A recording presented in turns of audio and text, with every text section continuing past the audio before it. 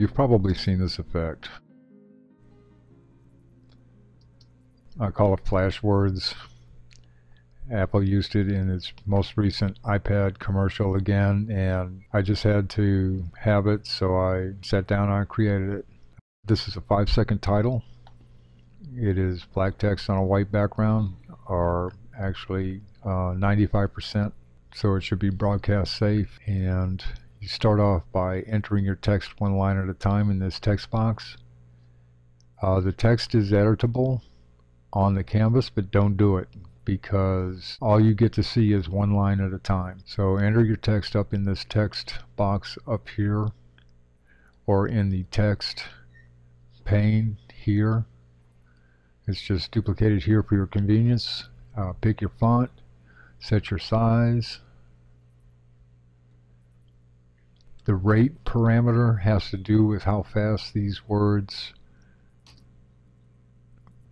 go line by line. Going faster will speed this up.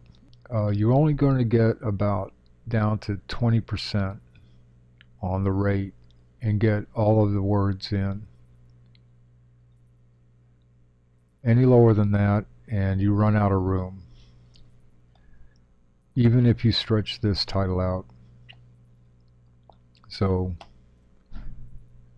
stretching this out will slow it down and compressing it will speed it up. But you can use the rate parameter to adjust where in the effect that this ends up.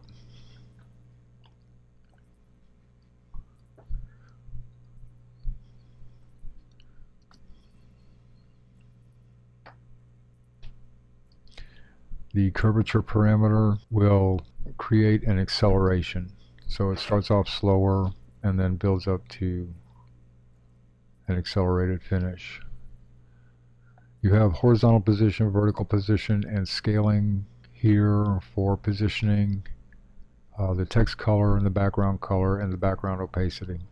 So you can use it over video like that. But if you have green screen material, uh, like they used in the iPad commercial, then you can place it under the storyline like this and have your green screen material over it. Let's get back to here. Okay. In the text pane, you can use the font size and alignment. You can use tracking kerning, but don't use line spacing and baseline. They have really no function in this effect the way this is designed, using those will probably just mess this up, so don't use them. You also cannot use outline because for some bizarre reason you'll see the outline of every word in the text. Same with glow and drop shadow.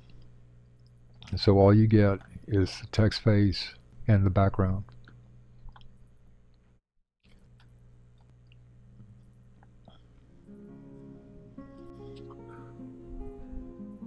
I hope you find this useful. I hope you find it a lot of fun, and I'll catch you on the next one.